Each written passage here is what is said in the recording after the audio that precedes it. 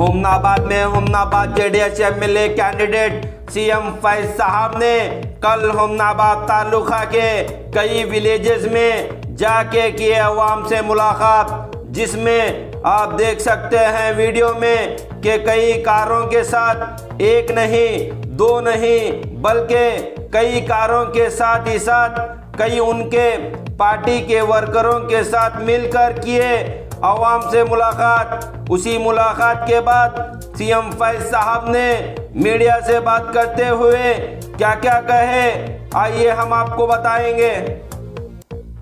इंशाअल्लाह अगर लोगों का यही प्यार, मोहब्बत बढ़ा रहे, मैं ये समझता हूँ, जिस हिसाब से पटेल साहब कह रहे थे कि जीत का लक्ष्य है, और तेरह मई के दिन ये ज़रूर बैलेट पेपर बाबा साहब अंबेडकर संविधान के हिसाब से जो इलेक्शन दिन है और काउंटिंग दिन है, उस दिन बैलेट पेपर काउंटिंग के बाद यही आपको नतीजा इंशाल्लाह अच्छे से दिखा जाएगा।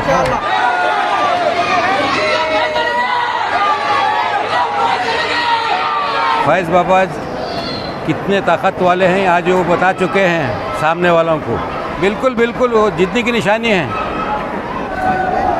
अल्लाम वरहमतुल्लाहि वबरकातुहू आज आज के दिन सवेरे से हमारी शुरुआत हुमनाबाद हलके से हुआ, टाउन से। सारे हुमनाबाद हमारे साथियों के साथ, राजेश्वर, फिर वहाँ से हम गए, आगे घाटबोरल कोडम्बल चिड़गुप्पा, हल्लीकेड, हुड़गे, सारे कोडम्बल तक का दौरा हुआ। अल्हम्दुलिल्लाह इतनी खुशी की बात है आज। हर हर कहाँ पर भी हम पहुँचे। लोग ज़्यादा से ज़्यादा पैमाने में हमें प्यार, मोहब्बत से हमसे जुड़ रहे थे। हमें सम्मान कर रहे थे। उनके, उनको एक नई उम्मीद जगी है। और ये एक नई दिशा है, एक नई लक्ष्य है। जैसे हमारे पटेल साहब कह रहे थे कि ये जीत का लक्ष्य है, जीत का निशान है ये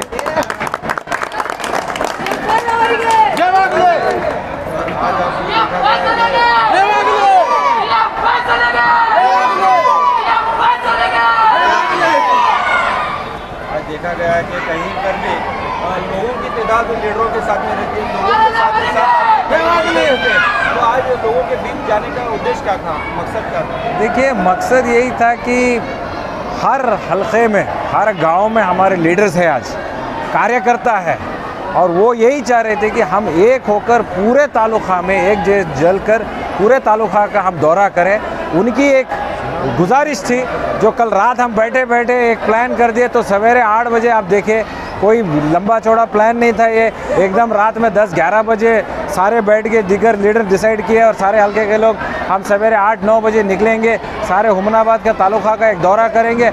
आप खुद ही देख के कितने लोग आ गए कितने कितने लोगों का मजमा था, कितने हमारे पार्टी कार्यकर्ता रहे और बड़े बड़े दिगर नेता थे हमारे साथ। ये बस शुरुआत है और इन आने वाले दिनों में हमारी तादाद बढ़ने वाली है, कहीं कम तो होने नहीं वाली है।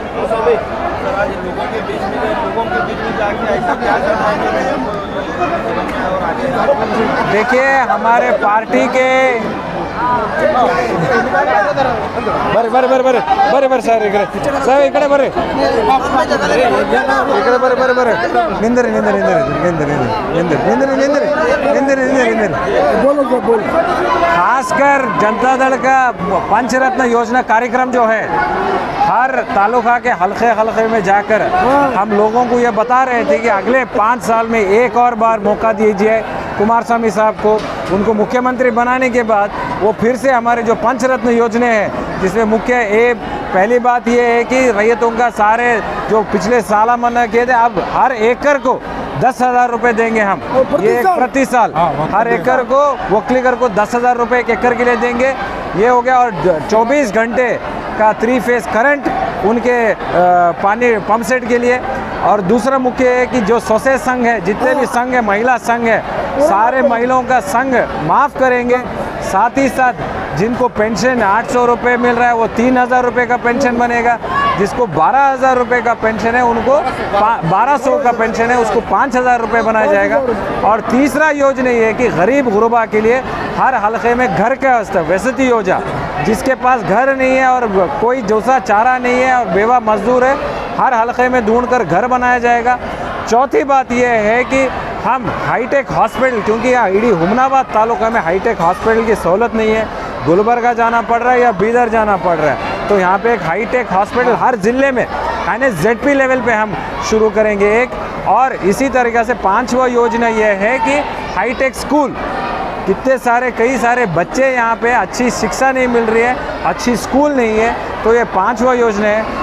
साथ ही साथ मैं एक दो चार बात और कहना चाह रहा हूँ कि इसी पैमाने दौरान हर ऑटो वाले को जो भी ऑटो मालिक है कभी कभी उनको कमाई में कभी तंदुरुस्ती का तंगी हो जाती है तो दो हज़ार रुपये प्रति महीना हर ऑटो वाले को जो भी मालिक है या ऑटो चलाने वाला है जो ऑटो ड्राइवर है उसको प्रति महीना दो हज़ार रुपये मुआवजा उसको गवर्नमेंट की तरफ़ से इंशाल्लाह। कुमार स्वामी साहब ने हमें आश्वासन दिया दिया जाएगा करके बोल के। ये हो गया। और दूसरा एक नया योजना है कि अगर जिसके घर में जिस रैयत के घर में जिस किसान के घर में बालिग लड़की हो और वह शादी के उम्र है और शादी नहीं कर पा रहे माली हालत के तंदुरुस्त तंदुरुस्त के कारण उनको दो लाख रुपए दो लाख रुपए सरकार से उनको दिया जाएगा इंशाल्लाह। ये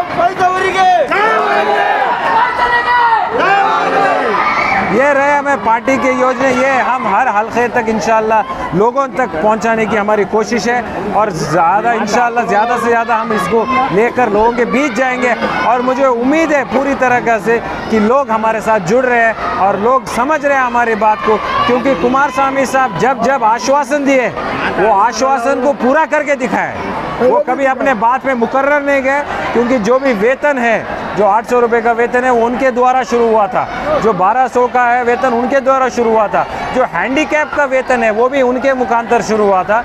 तो जब जब, जैसे किसान का साला माफ़ कर दिया है, जब जब उन्होंने एक आश्वासन दिया है, वो करके दिखाया है और इन हमें पूरी उम्मीद है आने वाली सरकार कुमार स्वामी साहब की सरकार बनेगी और इन हम पूरे जो भी ये आश्वासन जो हम दे रहे हैं अभी लोगों तक पहुँचा रहे हैं दिन रात मेहनत करेंगे और लोगों तक इसके सारे सौलभ्य पहुँचा के रहेंगे।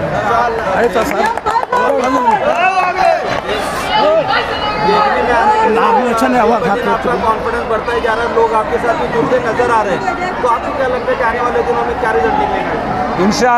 अगर लोगों का यही प्यार मोहब्बत बढ़ा रहे मैं समझता हूँ जिस हिसाब से पटेल साहब कह रहे थे कि जीत का लक्ष्य है और तेरह मई के दिन ये ज़रूर बैलेट पेपर बाबा साहब अंबेडकर संविधान के हिसाब से जो इलेक्शन दिन है और काउंटिंग दिन है उस दिन बैलेट पेपर काउंटिंग के बाद यही आपको नतीजा इंशाल्लाह अच्छे से दिखा जाएगा। आज। जेडीएस पार्टी अपने पूरे दम खम से पूरा तालुका यात्रा करे हैं और फैज़ बाबा, फैज़ फैज़ बाबा कितने ताकत वाले हैं, आज वो बता चुके हैं सामने वालों को। और इन हम आने वाले इससे, दिनों में इससे ज़्यादा ताकत लगाएँगे इस पार्टी की जिताने के लिए। हम कोई कमज़ोर नहीं है। हम ताकत वाले हैं ताकत वाले बनकर रहेंगे इन हम तेरह तेरह मई को दस मई दस मई तेरह मई को रिज़ल्ट के दिन बताएँगे आपको हम क्या हैं। बस खुदा माइनॉरिटी बहुत सारे अदर कास्ट के लोग भी सीएम के साथ जुड़ते हुए नज़र आ रहे हैं। हाँ तो बिल्कुल बिल्कुल वो जीतने की निशानी है।